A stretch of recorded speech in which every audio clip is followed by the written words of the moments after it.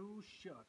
Not often Swedish producer get a book on the favorite place of Keith Richards. Blue Shots. 24 pictures done in the 70s, 80s and on from the Swedish photograph Erik Lindahl. 2016 receiver of Keeping the Blues Award, Keeping the Blues Award at the big ceremony in Memphis, Tennessee. And you see a lot of uh, telling the story of how it was. So um, we start here.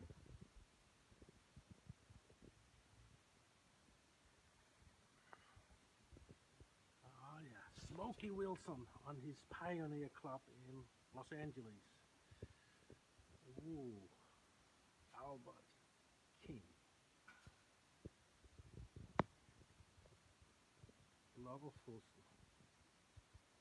And uh, all the pictures are in combination of the City Hall in uh, Frederikshavn, Denmark.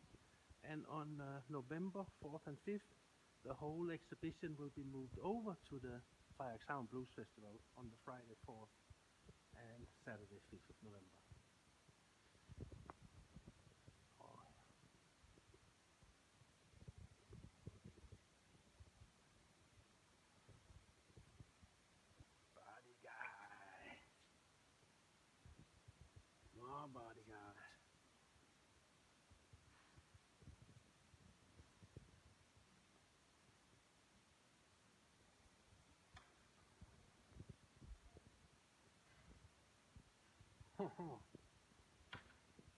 McKinley Morganfield, Muddy Waters, John Lee Hooker.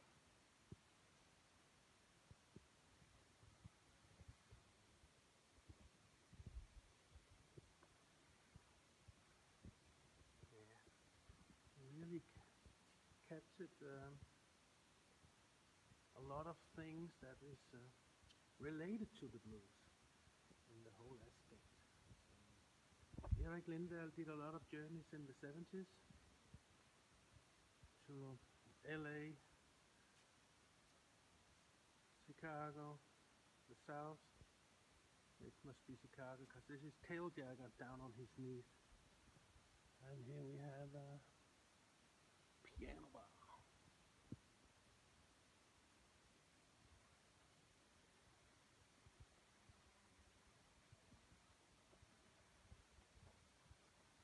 Oh yeah, good times.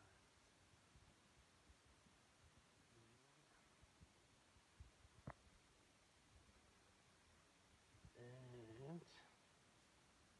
seems like Maxwell, Chicago. And there is Big Walter Horton, King of the Blues harmonica. Captured by Erik Lindahl.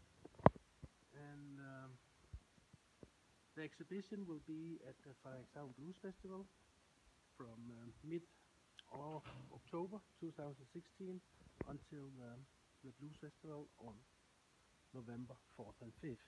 Erik is coming and he also is going to bring this book and uh, this going to be sale for sale this book and uh, that's the one he want oh George Smith George Smith here. wow so this is the book that he will be selling at the festival and uh, that's the book that gave him the Keeping the Blues Award 2016 and uh, yeah.